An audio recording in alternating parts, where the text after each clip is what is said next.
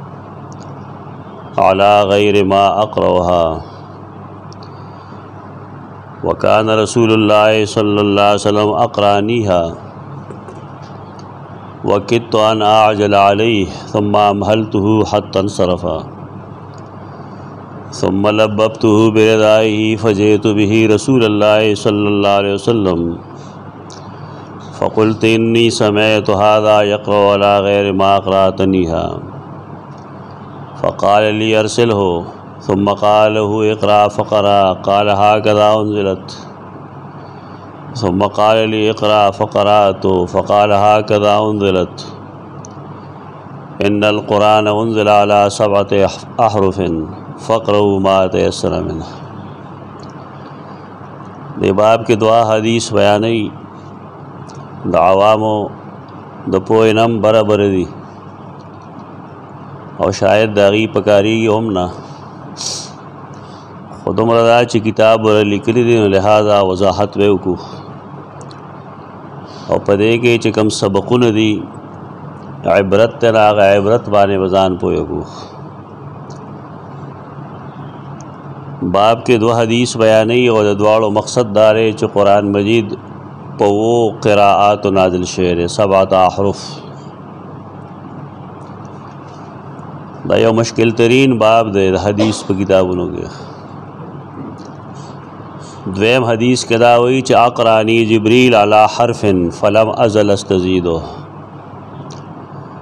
جبرئیل ماته په یو قرائت باندې قران ویلو او قرائت د قریشو فلم ازل استزیده نو زه لګیاوم شوروم او جبريل ته مې درخواست کو چې رب مزید هم راته اجازه راکې حتی انتها الى سبعه احرف تر دې پورې چې وو قراتونو ته ورسید بظاهر نظر خدا ښکاری چې چونکه د قرات وو طریقې دي او وو قراتونه دي ګنده هغه مراد دي عام طور خلق دغه مراد اخلي لیکن د دینا سبعت قراءات نری مراد و قراءات چې کوم مشهور دي قراءات سبعه هغه نری مراد وجه دارا چې دا قراءات سبعه کم مشهور دي مختلفو لهجو کې و دې جمع او تدوین خو ابن مجاهد کړی دا پشپګم اسدګخ د دې نه مخکې دا معلوم نه و چا ته ځکه چې دا په مختلفو علاقو کې یو علاقه کې نه بیا دا حدیث مطلب څه دی دې لحاظ سره دا حدیث مشکل ترین حدیث دی او لوی لوی علما دې کې په کلونو باندې سوچ کوي چې سم مراد کې دي شي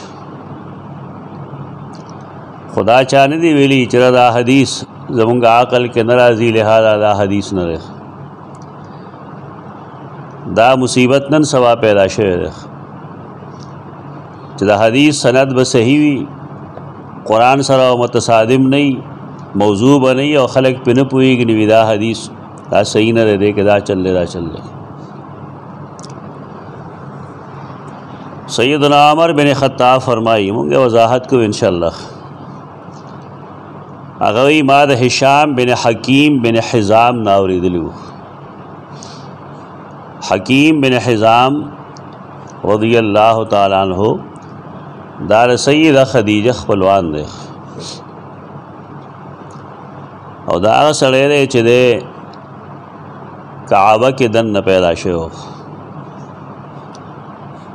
د خلکو خیال لای چې کعبه کې دنه پیدا کېدل غند کمال له نو کدا کمالی نو دا کمال خو بیا رسول الله صلی الله علیه وسلم ته نه حاصل دا غي ولادت خبر شوی دا ناپوهه خلک دا قسم خبرې کوي سیدنا علی رضی الله عنه ته مولود کعبه وې دا وی کعبه کې پیدا شو نو بیا یې با, با کمال له دا یو حالات وګوره نن چې د یو زنانا دغه تکلیف شروع شي درد زه دې ته وي د ماشوم د پیدا کېدو درد چې پیدا شي نو زنانه جمعات ته ځي او کنه چېرته پټ ځای ته ځان بوځي د هرې زنانه کوشش دای چې مان څوک خبر نشي یو داسې کمرې ته نوځي چې هلته د ماشومانو تګ راتګ نه شي نو دا څنګه ممکن ده چې دا غي زنانه دا غي زمانه زنانه غیر کعبه ته ور داخلي شي اصل حقیقت سوګ نه خي اصل دا چې کعبه کې بوتان پرادو دا زنانه با د خپل نارینه اولاد د پیدا کېدو په تمه باندې بوتان رتلل کعبې ته نه تلل څنګه چې زمونږ خلک باباګان نه ځان له اولاد غواړي نه به د بوتان نه غوښتو نو تلی او په دغه مقصد باندې او د الله ته منظور او نال ته بچي پیدا شنه دیګو د فضیلت سنشتہ که کمال وی دا نه دا کمال بیا رسول الله صلی الله علیه وسلم ته نه حاصل نعوذ بالله من ذلک ټول کمالات الله خپل رسول لور کړی دی که دا کمال وی الله و دا خپل رسول لور کړی دی حکیم بن حزام د هم مولود کعبه ده او دا صحیح خبره ده د سیدنا علی باره کې چې سوي ناغه درو وایي د قصو یو کتاب د زمای کما د هغې رد لیکلی دی عمر بن خطاب وایي چې ما د هشام نه واورېدل هغه هشام چې د حکیم بن حزام زوی و هغه سورة الفرقان لوسته علا غیر ما اقروها او په هغه طریقې نه لوسته په کومه طریقه چې ما لوسته سوال دا چې د قران او زما قران یو بل نه جدا دي وکان رسول الله صلی الله علیه وسلم اقرانیها حال لا جماعتم دا صورت رسول الله صلی الله علیه وسلم ویلو ماغه نزد کړو وکت ان اعجل علیه بعض مزاجونو کې جلالی ګرمي پکې او بیا د الله د دین د پاره چې کوم علم سړی دی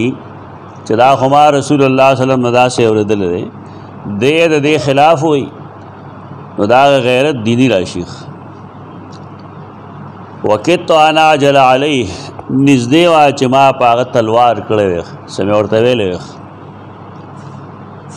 خو بیا ثم امهلته بیا مې ولګو خور کو حتا صرفا تر دې پورې چې هغه مزنفارق شو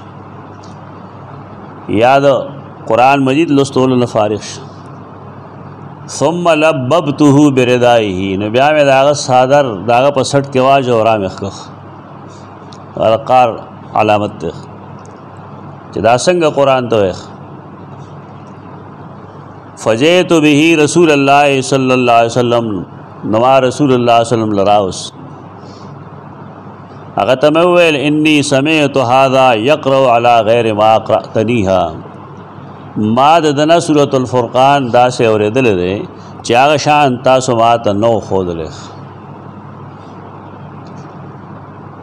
فقال لی ارسله نو ما ته پرې ده ما پرې خود نو ثم قال له بیا غته ویل هشام بن حکیم دا اقرا وللا فقرا ناغولست قال هكذا انزلت نو فرمایل دغه شان تم نازل شوی دغه سبق دغه موږ د پاره عوام خو په نور سره نه پوي حکم سره کم پدی پويږي چې رسول الله صلی الله علیه وسلم یو کسته قران یو شانته وخو بل ته بل شانته وخو بل ته بل شانته وخو وجد هغه سوا وجد داوا چې قران د قریشو په لهجه خو نازل شوی دی اصل لغت د قران هغه دی لیکن قریشو کې خو بیا ګڼ شاخونه دي او بیا انسان مزاج دای چې هغه د هر یو سیز د خپل جبه مطابق وي رسول الله صلی الله علیه وسلم د الله تعالی نه بیا بیا سوال کو چې ربا د قریش چې څومره خاندانونه دي د ټولو په لهجو کې ماته د قران د ویلو اجازه راکړه خدای اجازه الله ورکړو اجازه الله ورکړو معلومه دا شوه چې کله یو کار د رسول الله صلی الله علیه وسلم نه په مختلفو طریقو ثابتي کنه نه کې خامہ خلته مو چې دا زما مذهب دی دا ستا مذهب دی دا هغه مذهب دی دا فلان کی مذهب دی دا غلط طریقه ده قران مجید بنیادی کتاب دی او پائے کې رسول الله صلی الله علیه وسلم دا اجازت ملو شو چې د قریشو د هر خاندان په کومه لهجه کې تاسو قران وایې نو لسته شیخ خدا سبعت احرف نه دی سبعت قرات نه دی اخو د ډېر رستو پیدا ور به ما تو ویل اقرا للا فقرات ما ولست فقال هكذا انزلت ناغه ته مو فرمایل هم دا هم داس نازل شوه یعنی یو کار چې رسول الله صلی الله علیه وسلم مختلف طریقو سره کړی دی یا مختلفو طریقو سره اجازه ورکړی دی نو چاله پکار نه دی چې پای کې په یو باندې ودرېږي او نور پریږدي یا د نور رد شروع کی دا غلطه طریقه ده او بیا فرمایل ان القرآن انزل على سبعه احرف قرآن مجید نازل کړي شعر په وو حرفونو باندې فقروا ما تيسر منه نو قران لولې کم چې آسان وي د دینه دګه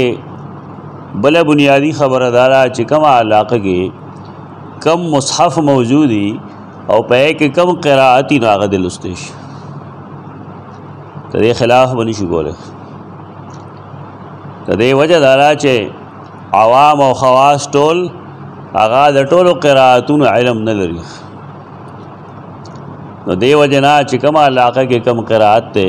دغه مخالفت دي نشي کولای مثلا مغرب مراکش کې زمونږ د قرات خلاف بل قرات ته بس ټیک دی ور رسول الله صلی الله علیه وسلم دا غي اجازه ورکړه دا حدیث مشکل دی د دې تعویلات چې کوم دی ابن حجر اسقلانی تقریبا واته کړی بلکې دې نه هم سیوا کړی او زما په نیز د دې ښه پېژندګلو چې کوم ده هغه تفسیر نشاپوري کړی ده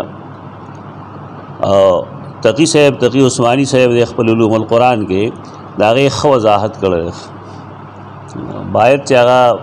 کم کسان پوه دي چې په دې پوه شي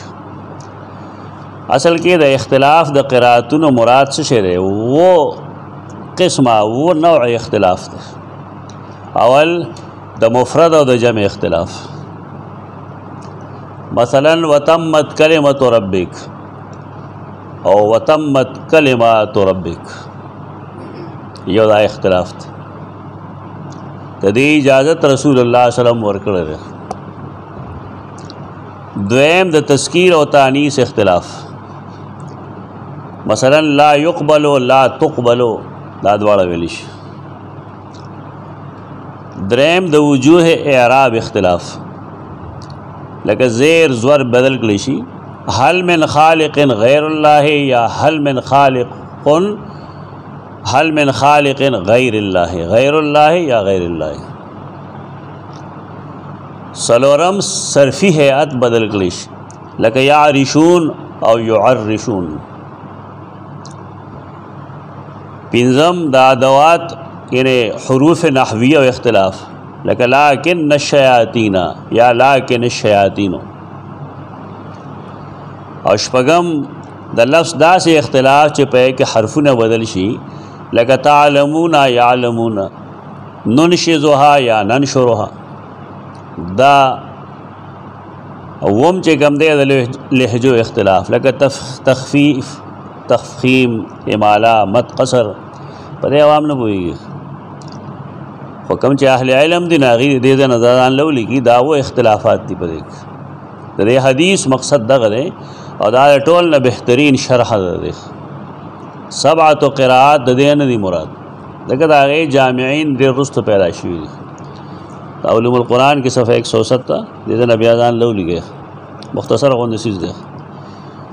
بار کیف حدیث کې زموږ د پاره چې کوم پوی ادا یا کم علم د ناغدار چې الله ډېر رحم کړی دی په دې امت باندې چې قران مجید په دې وو اختلافات سره د لوستلو د اجازه ورکړی دی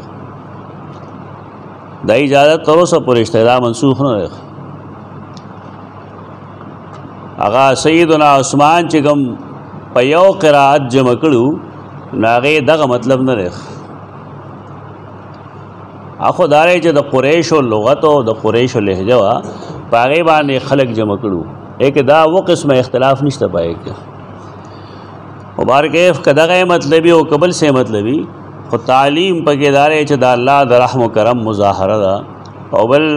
سبق پکې داري چې کله یو سیز صحیح سند سره د رسول الله صلی الله علیه وسلم نه په مختلفو طریقو باندې ثابتي نو پای کې اختلاف کول نه دی پکار هغه ټول چې کوم دی برداشت کول پکار دی دغه د رسول الله صلی الله علیه وسلم تعلیمات خلاصه ده اقول قولی هذا استغفر الله لكم وسائر المسلمين